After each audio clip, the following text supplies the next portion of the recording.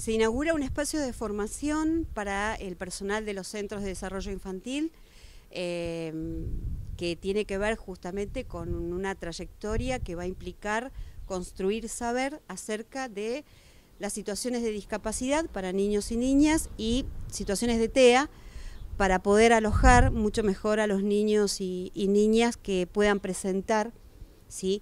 Algunas características y demás. La idea es eh, aportar elementos, discutir, construir con el personal eh, a través de una propuesta muy bien diseñada por, eh, por Leticia Alarcón, por Juan Preus este, y por parte que son equipo de CENAF, para poder justamente mejorar, construir mejores formas, insisto, de alojar a niños y niñas que requieran apoyaturas este, específicas. Es importante ¿no? el trabajo mancomunado también entre la provincia, entre eh, sus espacios como es la CENAF, también el IPAP. Sí, por supuesto, siempre agradecida al Instituto Provincial, realmente nos acompaña muchísimo en estos trayectos educativos.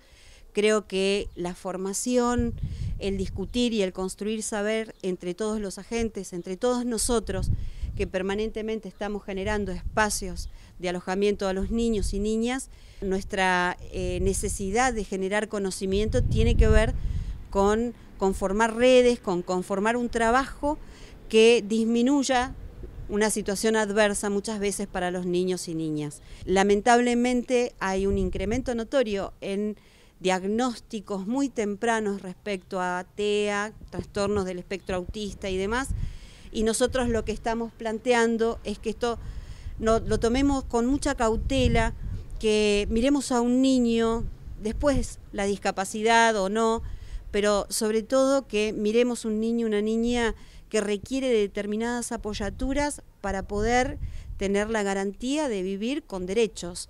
El derecho a jugar, el derecho a estar en espacios recreativos, el derecho a tener estos espacios tan interesantes como son el Globito Azul, Nazaret y demás. Hoy iniciamos la parte presencial, ya empezamos eh, con el acompañamiento virtual en la plataforma de IPAP el 25 de julio. En esta etapa estamos acompañando la formación de los centros de desarrollo infantil de Viedma. Pero hemos terminado ya una propuesta de formación para toda la provincia eh, con los CAINA, ¿sí? CAINA niño y CAINA adolescente, todas las situaciones de discapacidad y hemos tenido eh, una buena convocatoria eh, y excelentes resultados hasta el momento en el alojamiento de niños y niñas y adolescentes con una situación de TEA o multidiscapacidad. Así que estamos muy contentos y eh, en este momento estamos iniciando con la formación de los centros de desarrollo infantil.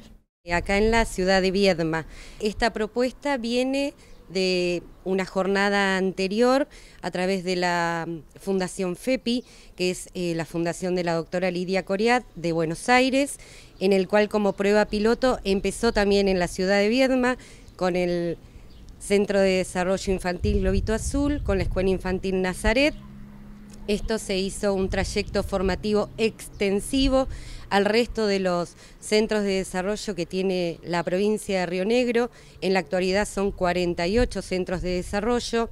Este segundo trayecto formativo abarca 57 agentes, cuidadores, operadores, educadores de los centros y en esta línea de formación Hoy con la profesora Larcón se inaugura la propuesta presencial en cuanto a TEA y multidiscapacidad.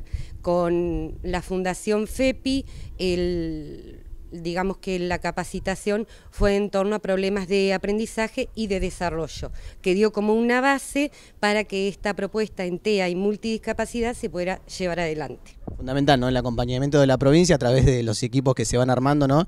En el apoyo a estos centros, en este caso, como lo decías, en Viedma.